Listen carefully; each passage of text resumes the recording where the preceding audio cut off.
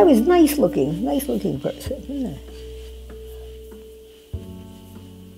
I mean, I didn't scare kids or anything, you know. but uh, really, she was she was the beauty, no question.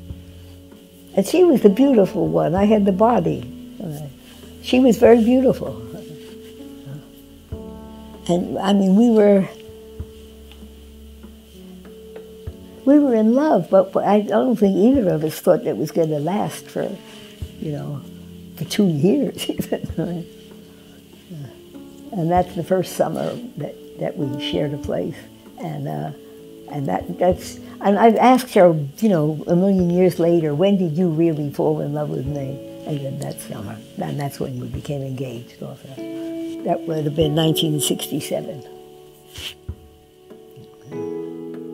Well, well, you have to go back to why did we originally become engaged, and uh, and uh, and that just it just happened. I mean, Thea decided that she wanted to do that, and uh, and we were driving out to the Hamptons, and she started talking to me about, uh, well, what would you do if you were to get get become engaged? And uh, and I said, well, I couldn't, I couldn't wear a ring, okay, because because then they would need to know, you know, who is he and when do we meet him.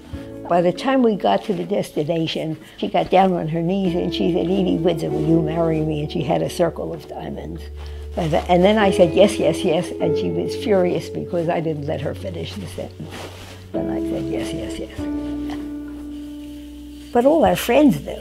It's just, you know, people you worked with, okay, or clients and stuff like that. At one point, I talked to Thea about that. I would say, you know, we have both been very successful uh, in our fields and stuff. What could we, would we have been if we hadn't put all that energy into being hidden? And she said, oh, it's nothing, no effect on me at all. And within 10 minutes, we were both crying. Okay, okay. Uh, so uh, that had plenty of effect on both of us, uh, obviously. But, uh, but but not that you knew actively at the time. You know. The day after, we felt differently.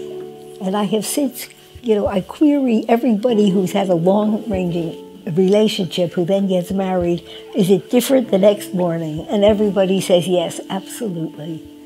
There's some legitimacy okay, that we never knew we were lacking. And we heard from people, we heard from probably a thousand people when when the announcement happened in the New York Times.